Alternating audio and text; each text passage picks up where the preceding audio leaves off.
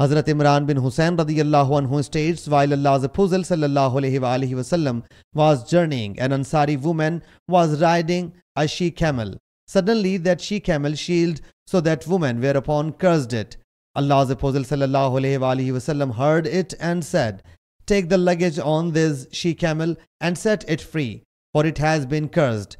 Hazrat Imran says that this scene is still before my eyes that she camel is walking among the people and no one is taking any notice of it. Sahih Muslim, Hadith number 6547.